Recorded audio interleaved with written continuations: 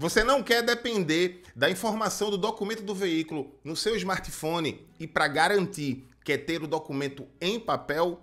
No vídeo de hoje eu vou te mostrar como em menos de um minuto é possível você baixar o teu documento e poder andar sem precisar confiar se o celular vai descarregar ou coisa parecida. Fica comigo que eu vou te ensinar. Eu sou o professor Carlão e você está no Manual do Trânsito, um canal dedicado à educação para o trânsito e de formar profissionais para um trânsito mais seguro.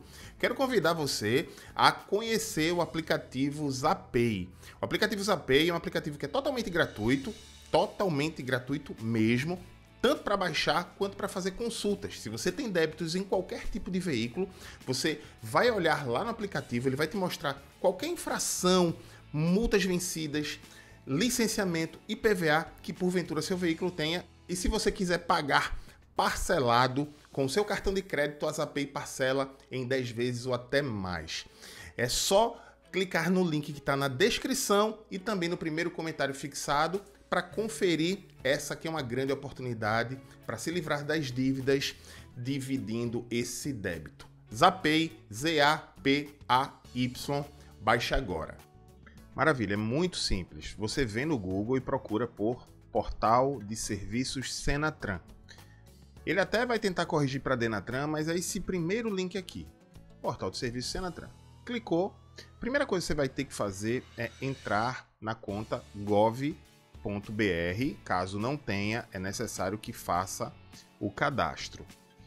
Quando você for entrar, ele vai te pedir, evidentemente, o CPF Após digitar o CPF, continuar, vai pedir a tua senha. Deixa eu colocar aqui a senha. E se for necessário, ele vai pedir os termos de uso para você concordar. Quando você já está fazendo vários procedimentos, ele nem pede isso.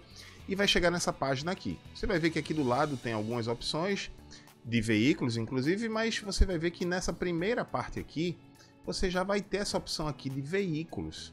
E é somente isso. Clicou aqui em veículos, ele vai aparecer os veículos que são cadastrados no CPF daquele da pessoa que está fazendo a consulta. E o veículo vai aparecer exatamente aqui. Tá vendo? Essa caixinha aqui.